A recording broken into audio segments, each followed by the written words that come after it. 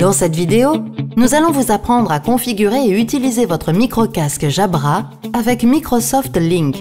Ouvrez Microsoft Link, cliquez sur Options. Le menu Options va s'ouvrir.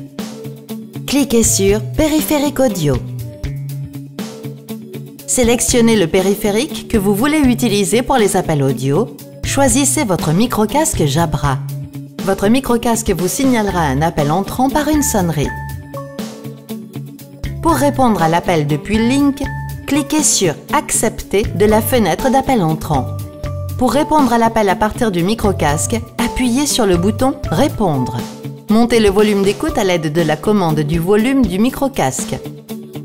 Baissez le volume d'écoute à l'aide de la commande du volume du micro-casque. Pour désactiver l'appel depuis Link, cliquez sur l'icône microphone de la fenêtre d'appel. Pour désactiver le microphone depuis le micro-casque, utilisez la fonction secret du micro-casque. Pour réactiver l'appel depuis Link, cliquez sur l'icône microphone de la fenêtre d'appel.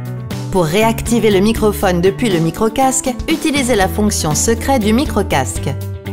Pour terminer l'appel depuis Link, cliquez sur le X rouge de la fenêtre d'appel.